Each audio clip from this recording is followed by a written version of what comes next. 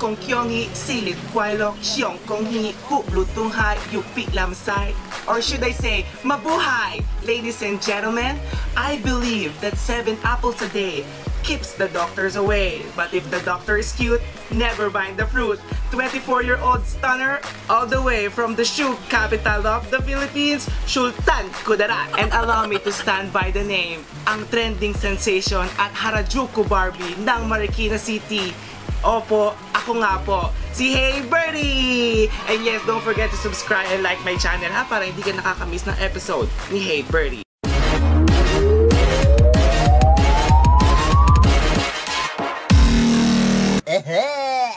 So yun nga today, may kasama na naman ako. Itong gagawin namin ay napanood ko sa 9gag. For sure, alam nyo na rin to, ang Mouth Guard Challenge. Yun nga, so itong Mouth Guard Challenge, susuot namin to. Tapos paunahan kaming maubos ang tubig. Meron akong kasama dito sa challenge na to. Siya ang nagmamay-ari ng pitong corona ng Miss Q&A. Walang iba kundi si Nini Antonio!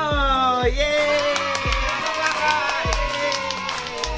What's up, Madlang people? I believe that it takes less time to do a thing right than to explain why you did it wrong. Kaya, Madlang people, if you have the opportunity to do a thing right, grab it. Because by doing right, you will never go wrong. Damn, My son. name is Nini Antonio. I'm from the shoe capital of the Philippines, Marikina City! At naniniwala ako sa kasabihang, ang tumakbo ng matulin kapag natinik ng malalim, malamang ang shoes hindi gawa sa amin. And I thank you! So yun nga, kami dalawa ang gagawa ng Mouth Guard Challenge. Ito na nga po ang aming uubusin, ladies and gentlemen. Mauubos ba natin? Mauubos. Mauubos natin to. Pero, yun nga, may twist tayo. Kailangan nakasuot sa atin itong mouth guard. Okay, so Okay. susuotin na po namin, ladies and gentlemen. ladies and gentlemen. Ay, naka, ladies and gentlemen. Wala wala practice. Ready, get set, go!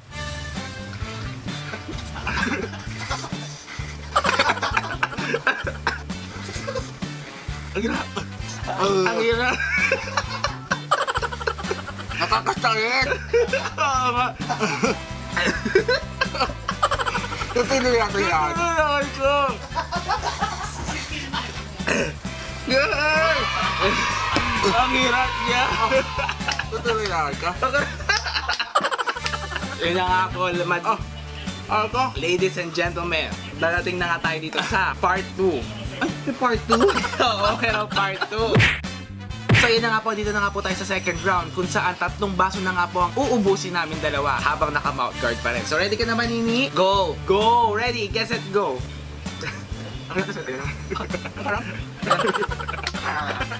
Ready, get set, go!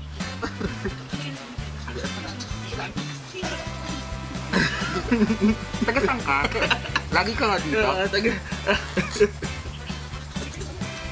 Usog na ako. Ito, sige, gasa na ako. Tuloy, tuloy lang ako ito, hindi ko control. Cheer, cheer, cheer! Tuloy, tuloy lang ako.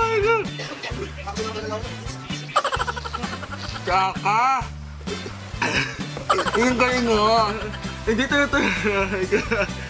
Kadiri! Eh, tuloy, tuloy. Nakita niyo yan. Tuloy, tuloy lang ako ito.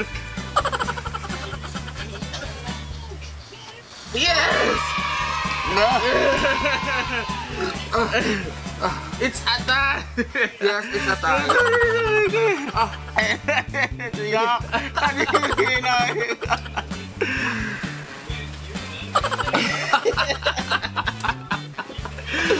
Kadiri na! So it's a tie tayo. Ibig sabihin, Yes. pareho tayong reigning. So yun nga guys, um, don't forget to supportahan po natin si Nini Antonio sa darating na semifinals na Miss Q&A. At actually guys, trivia kasi Nini matagal niya na akong kilala, bata pa lang ako. Yes. Oo, dahil ba, ano po, best friend ko nung childhood ko, yung kanyang pamangkin, si. Aison. Yes, Aison, say hi. Oh.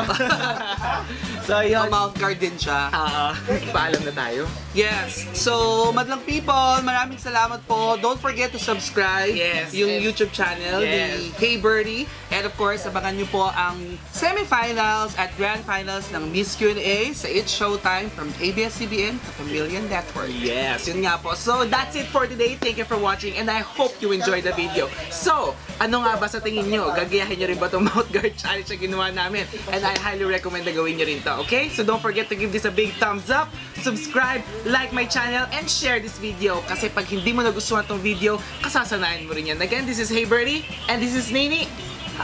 And we out. Peace. Bye! Bye!